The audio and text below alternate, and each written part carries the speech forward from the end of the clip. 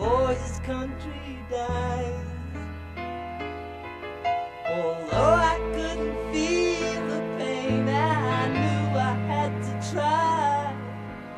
Now I'm asking home to help us save some lives.